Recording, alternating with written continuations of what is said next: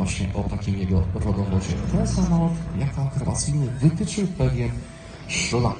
Otóż ten samolot, ten samolot, y, jego możliwości, które, które były